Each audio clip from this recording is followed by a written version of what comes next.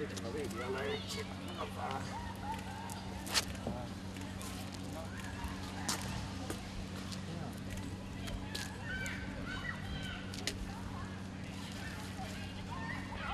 varēja, bet nekā. Jā, bet skrien kā grib.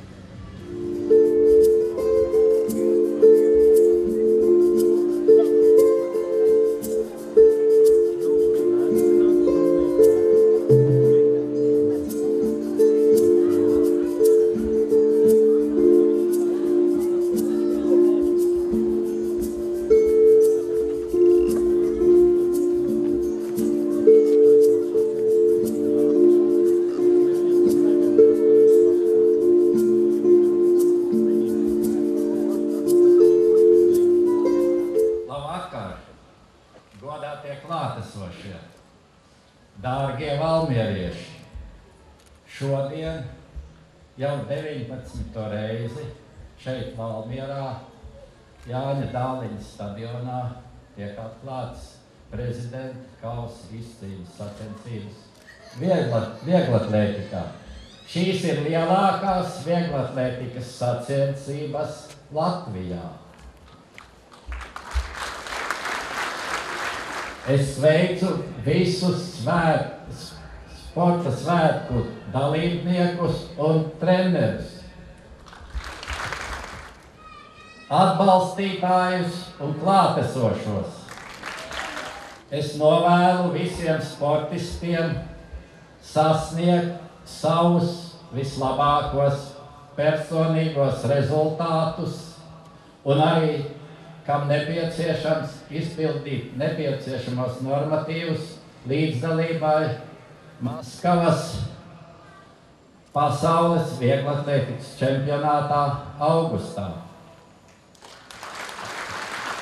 Dārgie valmierieši, man tiešām ir liels gods būt šodien šeit un atklāt šīs sacensības, jo mana dzīve jau vairāk kā 40 gadus ir cieši, cieši saistīta ar Valmieru un, protams, arī ar šo vietu.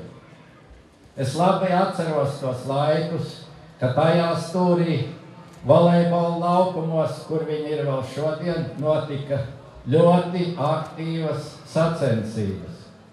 Es atceros šos pirmos neatkarīgus gadus, kad mēs iesākdami šo sadarbību ar Gīpers no Vācijā, uzrunājam šo jautājumu par segumu, un kā es saprotu, vēl daļa no tā seguma šodien atļaus sasniegt augstākos sasniegumus vieglatlētikā Latvijā. Es tiešām priecājos par Valmieras attīstību, jo es uzņemos apgalvot, ka tomēr Valmiera ir visstabilākā un visdrošākā pilsēta Latvijā. Jo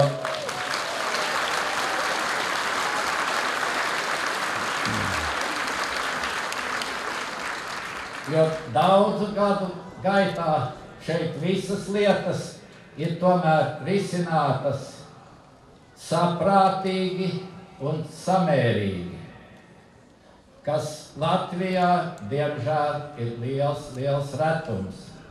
Tāpēc arī jūs esat tā vieta, kur ir sag- saglabājušies cilvēki, kur dzīve iet uz priekšu.